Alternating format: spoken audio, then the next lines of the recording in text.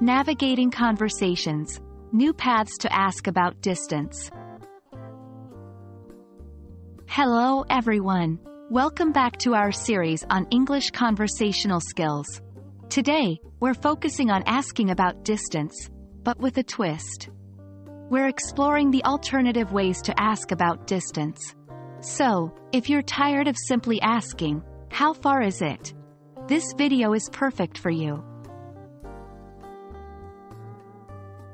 Firstly, let's look at some synonyms of the word far. Knowing these will help us craft a wider variety of questions about distance. 1. Distant, is it a distant location? 2. Remote, is the place remote? 3. A good way off, is the restaurant a good way off? These synonyms will not only enrich your vocabulary but also make your speech sound more natural and varied. Next, a really practical way to ask about distance indirectly is to ask about travel time. This is useful because the time it takes to reach a place can be more informative than the actual distance. Here are some examples. 1. How long does it take to get there? 2. What's the travel time to the museum? 3. Approximately. How much time will it take to reach the beach? A clever and indirect way to ask about distance is by questioning the convenience of getting to the place. Here are some phrases you can use. 1.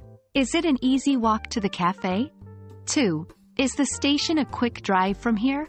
3. Can I get to the library without much hassle? These kinds of questions often elicit responses that give you an idea about the distance without directly asking for it.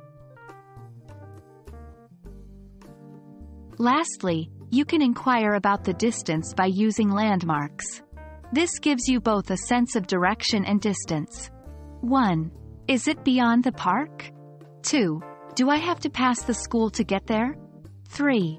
Is it near the supermarket?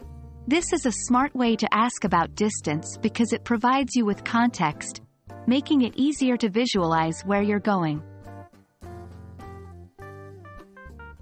And that's it folks. We hope these alternative ways to ask about distance will add color to your English conversations and make asking for directions an exciting task. Remember, variety is the spice of life, and the same holds for language. The more diverse your speech, the more engaging and effective your communication will be. We hope you found this video helpful and are looking forward to seeing you in our next one. Happy learning!